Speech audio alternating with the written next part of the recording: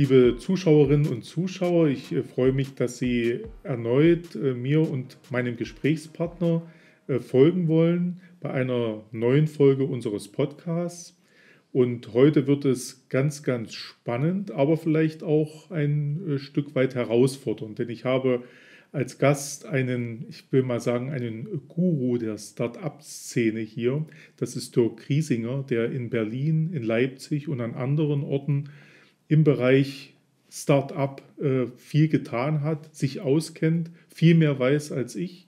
Und ich habe vor allen Dingen heute viele Fragen mitgebracht. Erstmal herzlichen Dank, Herr Kriesinger, dass Sie hierher gekommen sind in unser Landratsamt.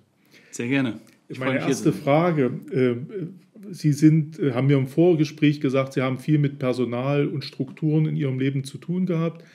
Äh, wenn Sie durch ein Landratsamt gehen und diese Flure hier bei uns sehen, ähm, Sie sind auch über unseren sogenannten, über unsere Beamtenlaufbahn gegangen. Das ist dieser Übergang von dem einen Haus zum anderen. Ja. Äh, was ist Ihnen da durch den Kopf gegangen? Denken Sie da, oh, verstaubte Büros, äh, hier fühle ich mich nicht wohl. Wie, wie sehen Sie öffentliche Verwaltung? Tatsächlich so, wie Sie es gesagt haben. Ähm, wahrscheinlich nochmal noch mal 30, 40 Jahre zurückversetzt. Ähm, bisschen an meine Schulzeit, mhm. ähm, weil das waren auch immer solche Flure. Ähm, hier war aber teilweise Teppich, ähm, bei uns war es immer Linoleum. Ähm, aber ansonsten ist es etwas, was, ähm, wo ich froh bin, in dieser Umgebung aktuell nicht zu sein. Mhm. Weil, weil hier alles eingegrenzt in Büros, äh, die Menschen verschwinden äh, und äh, heute die Form des Arbeitens in ihrer Welt eine ganz andere ist.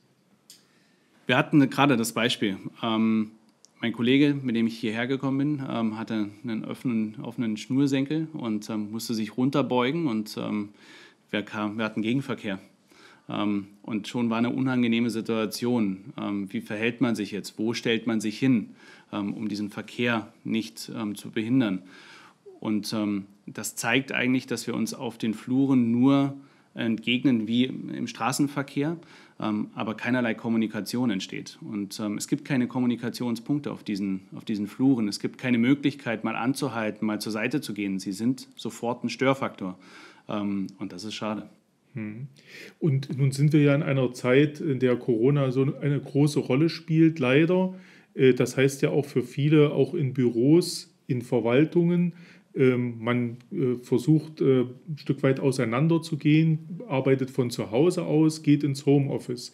Das ist für öffentliche Verwaltung jetzt seit einem Jahr verhältnismäßig neu, für andere Unternehmen vielleicht auch. Äh, aber ist das jetzt vielleicht eine Umbruchssituation, die mit der Arbeitswelt in allen Bereichen etwas macht, was sich auch nicht mehr zurückholen lässt in das alte System? Absolut. Und ich glaube, ähm auch wenn die Krankheit und all das, was drumherum passiert ist, eine unglaublich schlimme Thematik ist, ähm, hat es trotzdem viel verändert. Ähm, viel verändert in Hinsicht auf das Arbeiten, aber auch auf das eigene Leben. Man schätzt viele Dinge, hoffentlich deutlich mehr. Ähm, klar, wir sind Gewohnheitstiere, an bestimmten Punkten werden wir wieder in alte Schemata zurückverfallen. Aber ich glaube, gerade das Thema Arbeiten haben wir jetzt alle mal mitbekommen, dass ähm, Homeoffice nichts ist, was Schlimmes und dass auch Mitarbeiter selbstständig sein können und auch wissen, welche Arbeit sie zu tätigen haben. Und, ähm, und dieses Vertrauen, was man als Arbeitgeber, ähm, egal ob man jetzt öffentlicher Arbeitgeber oder privater Arbeitgeber ist, ähm, in Mitarbeiter haben kann und ähm, trotzdem die Arbeit funktioniert und Ergebnisse hinten rauskommen, ähm, ist etwas, was uns in der Zukunft ganz, ganz viel offen hält ähm, und ganz viele Möglichkeiten verschafft. Möglichkeiten verschafft, aber dann auch Gefahren, wenn ich äh, Beruf und, und, und Familie und Freizeit so miteinander verwebe, was ja viele jetzt tun müssen, wenn sie zum Beispiel Kinder zu Hause haben, weil die Schule nicht offen ist, die Kita nicht offen war ähm, äh, besteht da auch die Gefahr, dass man das gar nicht mehr trennt und überhaupt nicht mehr abschalten kann. Also ich spreche da ein bisschen aus eigener Erfahrung. Ich gehe abends mit meinen Themen ins Bett und stehe früh mit denen auf und äh, zwischendurch kenne ich eigentlich keine Pause. Auf Dauer ist das, glaube ich, nicht gut für jeden. Und das ist die Aufgabe nachher der Arbeitgeber, ähm, genau darauf zu achten. Und so wie wir vor 30 Jahren ähm, in den Unternehmen Computer eingeführt haben und alle Menschen eigentlich dazu bringen mussten, mit einem Computer anstatt mit Schreibmaschine oder Stift zu arbeiten. Ähm, so müssen wir heute vielleicht nicht mit genau dieser Thematik anfangen, aber mit der Art, wie arbeite ich. Ähm, es geht nicht mehr darum, ähm, das Thema Work-Life-Balance ist, glaube ich, etwas, was aus meiner Sicht in vielen Punkten veraltet ist, sondern es geht darum, ähm, Arbeiten und Leben miteinander zu vereinen, so zu vereinen, ähm, dass sie Spaß haben. Ich gebe Ihnen mal ein kleines Beispiel. Ähm, wenn Sie Ihr Hobby zum Beruf machen, dann werden Sie es hassen, ähm, wenn Sie nachher sehen, es ist 19 Uhr und Sie müssen aufhören. Ähm, nehmen wir mal das kleine Beispiel, ähm, man hat eine, eine Eisenbahn und das ist der Beruf. Ja, man bastelt an der Eisenbahn, dann versinkt man darin, man ist, ähm, man ist bis spät in die Nacht damit beschäftigt. Wenn dann auf einmal die Frau ruft und sagt, jetzt ist mal gut, komm mal ins Bett, ähm, ja, dann, dann ärgern sie sich. Und, ähm, und dann haben sie eine ganz hohe Intention ähm, und eine intrinsische Motivation, eigentlich das machen zu wollen. Auf der anderen Seite, wenn sie arbeiten und schon so erzogen sind mit einer Stechuhr, ähm, sie müssen eine Anzahl von Arbeitsstunden ableisten, um ein guter Mitarbeiter zu sein, dann war das einfach die falsche Erziehung. Und wir müssen jetzt umdenken. Wir müssen viel mehr darüber nachdenken, was ist eigentlich die Verantwortung eines Einzelnen? Ähm, was trägt der Mitarbeiter eigentlich zum Ganzen bei? Und ähm, wie viel Verantwortung steckt dann auch hinter seinem tagtäglichen ähm, Tun? Und wenn das passiert, dann wird auch immer mehr ein eigenes Wollen hinter der Arbeit sein. Und wenn das passiert, dann wird auch eine ganz andere Motivation sein. Aber trotzdem, das Thema Management, Zeitmanagement wird in der Zukunft ein anderes sein, als wir es heute noch haben. Dazu müssen wir ähm, viel unterstützen, viel helfen. Aber eine Sache wird sicherlich dann mal aufhören und das kenne ich aus eigener. Ich habe selber zwei Kinder. Ähm, das Thema Homeschooling macht alle fertig. Ich, das wird halt auch irgendwann mal aufhören. Und dann beginnt eine neue Ära des Arbeitens an vielen Punkten. Der Bandarbeiter kann es aber nicht verändern und auch der mhm. Maler, Lackierer mhm. ähm, kann nicht von zu Hause aus ähm, eine Wand malen. Das funktioniert nicht. Also ähm, das ist sicherlich an bestimmten Faktoren, kann man verändern. Viele Berufe, wie auch der Landwirt, ähm, der wird es nicht verändern können, weil der kann mhm. das Feld nicht von zu Hause mähen. Also teilweise. Ne? Es gibt ja auch schon viel technologische Unterstützung, ähm, wo es äh, mit ähm, Robotik tun kann. Ähm, aber ich glaube, das ist ein anderes Thema. Mhm. Jetzt, äh, jetzt äh, versuche ich mal ein bisschen äh, auf Ihrem ähm, auf ihr, ihr Kerngeschäft, wenn ich das so äh, sagen darf, äh, zu kommen. Äh, Sie sind mit Ihrem Unternehmen Simply Office in Leipzig, in Potsdam, Berlin mhm. tätig und bieten dort unter anderem Start-up-Unternehmen einen Rahmen, in dem sie sich entwickeln können. Ich äh, würde Sie gerne erstmal bitten zu erklären, ähm, was, was, was ist das eigentlich? Äh, wann, wann spricht man von einem Start-up und, und welche Rahmen bieten Sie da und warum ist das überhaupt notwendig? Bevor wir dann später zu der Frage kommen werden, ist das auch ein Thema für den ländlichen Raum? Denn äh, als Landrat interessiert mich natürlich, äh, wie können wir junge Leute für den ländlichen Raum begeistern, als Wohnort, aber auch als Arbeitsort und ist das, was in den Städten passiert, was sie da so erfolgreich praktizieren, überhaupt äh, eine Art Blaupause für ländliche Räume oder passt das gar nicht zusammen? Ähm, zuerst muss ich einmal damit aufräumen, dass wir, ähm, dass wir nicht nur für Startups ein, ein Zuhause sind, sondern wir sind tatsächlich ähm, für kleine Unternehmen, und die nicht neu sind. Und ich komme gleich zur Begriffsdefinition von einem Startup. Ähm, aber wir sind genauso für kleine Unternehmen, für den ähm, kleinen Mittelstand, für den mittleren Mittelstand, für den großen Mittelstand, aber auch für Konzerne, ähm, Behörden, Kommunen ähm, sind wir genauso Anlaufpunkt. Mhm. Bei uns geht es immer darum, ähm, ich brauche einen Arbeitsort äh, für eine gewisse Anzahl an, an Mitarbeitern ähm, und habe entweder zwei Faktoren dahinter, die mich treiben. Das ist entweder das Thema Wachstum, Veränderung Digitalisierung. Ja, das ist so dieses ganze ähm, Wachstumsthema. Ähm, oder aber ich habe das Thema Auslagerung, was jetzt ganz, ganz viel passiert. Ich muss als Arbeitgeber, das nennt man dezentrales Arbeiten, ich muss als Arbeitgeber nicht meine Leute nach Herzogenaurach schleppen ähm, oder nachher in den Schwarzwald, weil ich dort meine Firma habe, sondern wenn ich gute Entwickler brauche, ähm, dann kann ich die an jedem Ort der Welt ähm, arbeiten lassen. Das ist das, was wir jetzt aus Corona auch gelernt haben. Ähm, und gehe eigentlich dahin, wo sie leben. Und wenn Sie nachher auf dem Land leben und ähm, dort ein Haus gebaut haben und ich möchte Sie aber anstellen und Sie müssten aber 400 Kilometer weiter wegziehen und müssten alles aufgeben, werde ich als Arbeitgeber diesen tollen Mitarbeiter, den ich eigentlich haben möchte, den werde ich nicht bekommen. Also warum gehe ich nicht dorthin, wo mein Mitarbeiter lebt? Mhm. Ja, der Ansatz des dezentralen Arbeiten. Das ist ein Thema, wo ich schon seit Jahren für kämpfe, ähm, darüber nachzudenken, dass Menschen ähm, dort arbeiten, wo sie leben und nicht, aber, und nicht dort leben müssen, wo sie arbeiten. Das ist ein ganz wichtiger Faktor. Und ähm, ich glaube, das ist auch die große Chance jetzt, ähm, aus, aus ländlichen Gegenden ähm, tatsächlich Potenzial rauszuholen. Wenn wir von dem Thema Startup sprechen, dann ist ein Startup etwas, was nichts anderes ist als ein Existenzgründer, der sagt, er hat eine Idee, er hat, ähm, er hat eine, eine Vision vielleicht sogar, ähm, wie ein Unternehmen aussehen könnte, kann einen Bedarf decken, das ist immer ganz wichtig. Ohne Bedarf ähm, werden Sie kein erfolgreiches Startup haben. Ähm, und wenn Sie einen Bedarf decken können und das Unternehmen aufbauen, dann haben Sie bestimmte erste Steps, die Sie durchführen. Und, ähm, und bis zu einer Größenordnung, man sagt bis zu fünf Jahren, ist man ein Startup.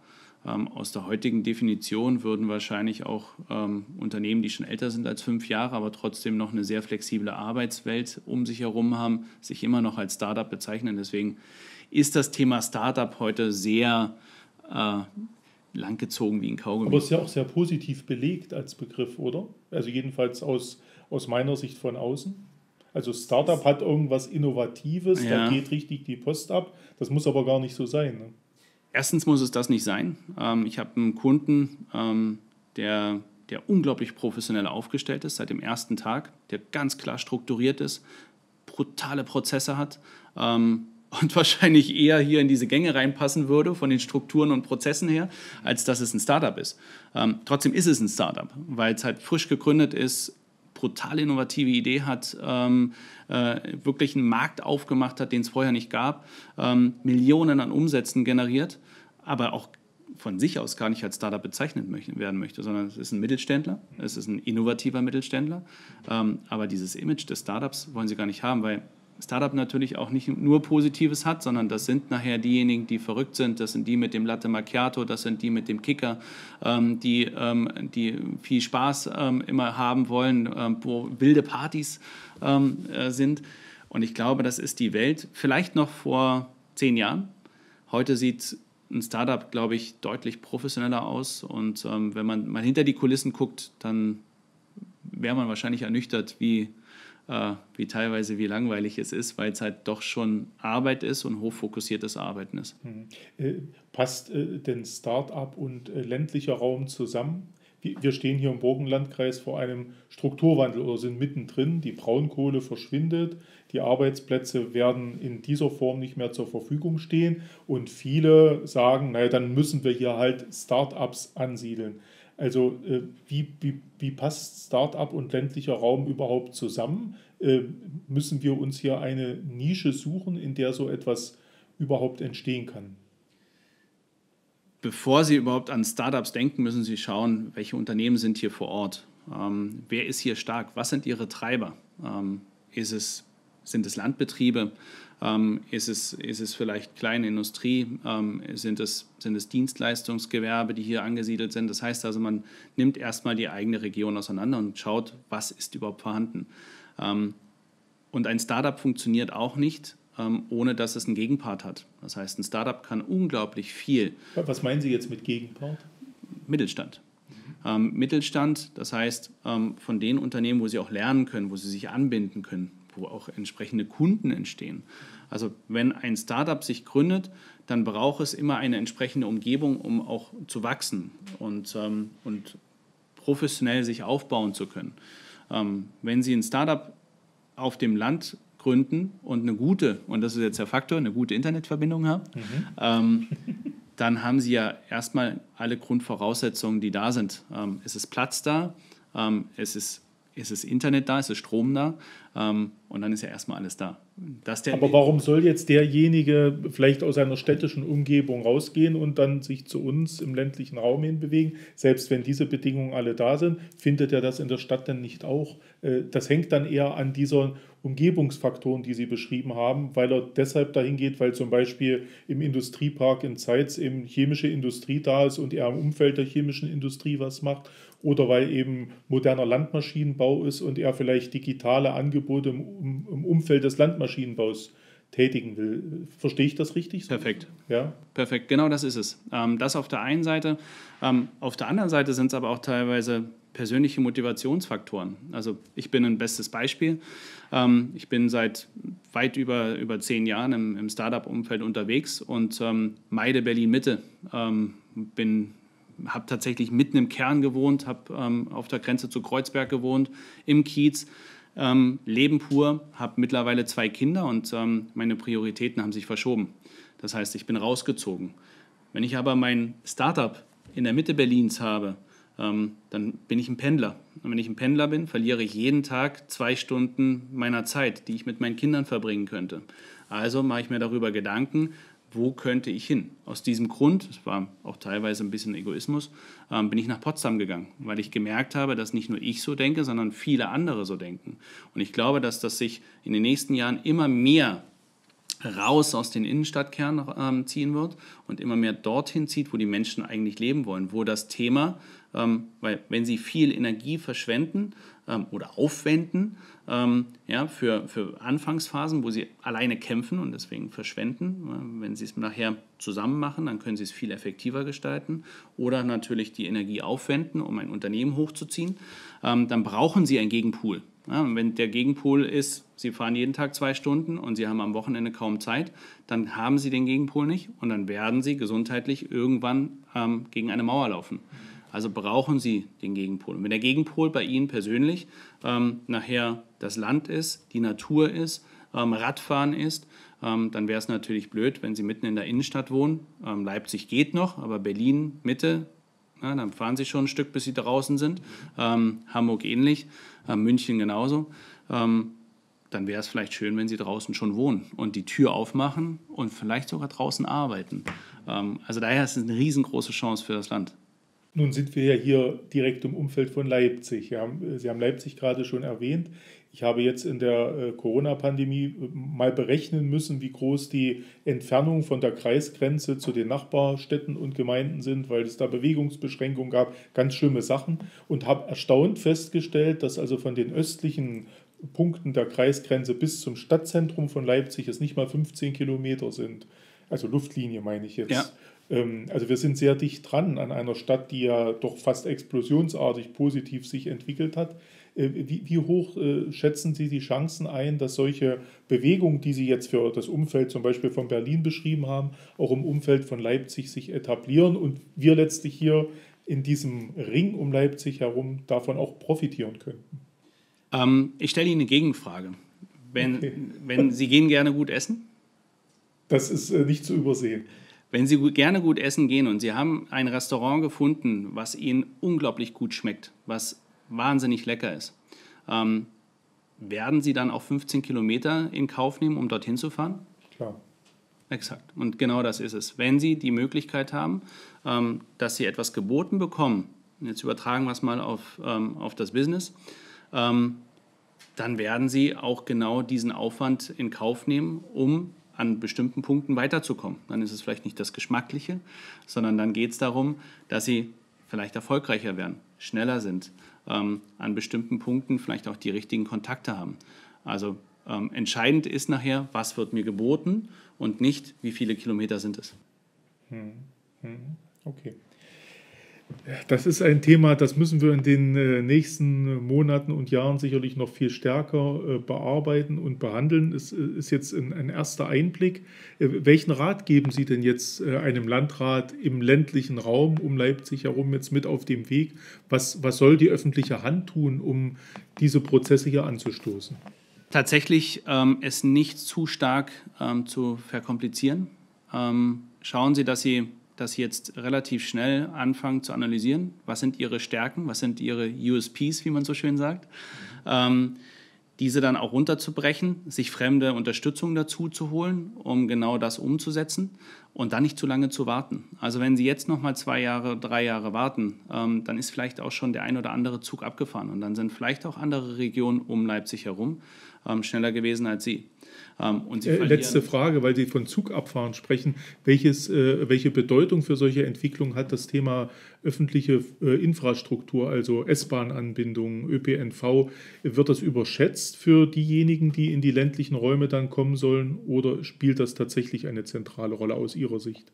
Das spielt eine Rolle. Also wie sind sie angebunden, wie schnell komme ich von A nach B? Ähm, das wird ein sehr, sehr wichtiger Faktor sein.